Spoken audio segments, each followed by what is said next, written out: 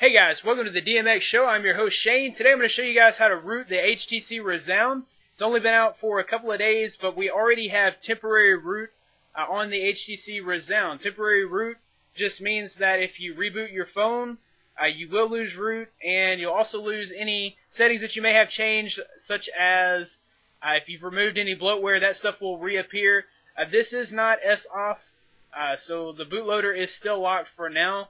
And like I said, this is temporary root. It's all that we have for now. But you're, if you're okay with that, uh, then continue following this tutorial.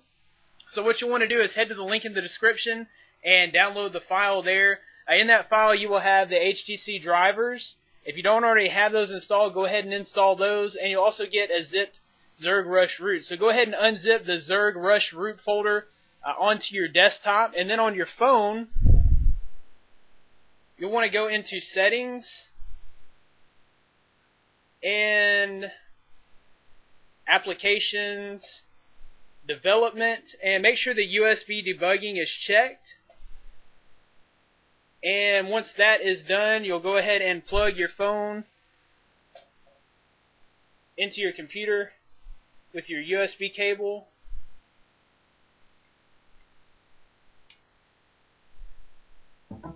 and make sure it says charge only and USB debugging up top and then you can select done. And okay from there you'll open up the Zerg Rush folder.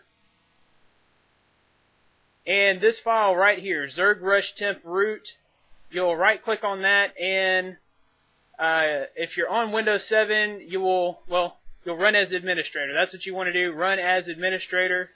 So click that and the process should begin. So with this temporary root, you'll be able to use Titanium Backup, Root Explorer, uh, Wireless Tether, different applications that require root. You'll be able to do those. The only thing is you will lose it whenever you reboot your phone, but this is better than nothing for now.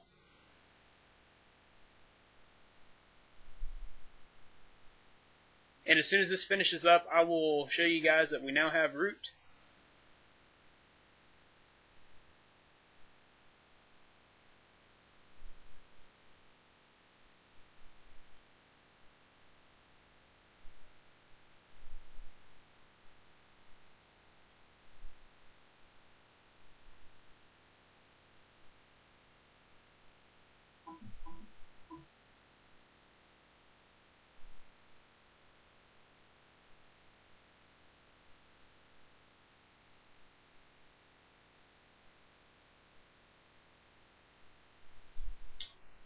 Okay, so when you're all done, you should be rooted.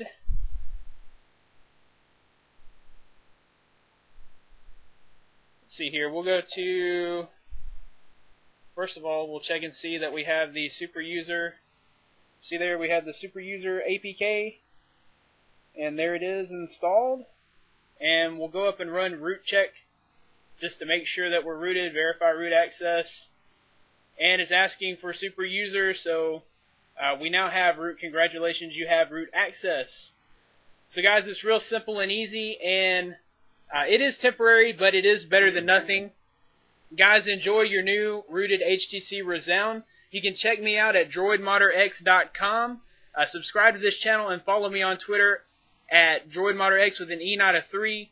I'm going to try to um, update you guys with ROMs, mods, and hacks on this HTC Rezound phone, and as soon as the Galaxy Nexus drops, I'll be picking that up as well. If you know anyone that has a Bionic or a Droid X, I also cover those phones. Guys, thanks for watching.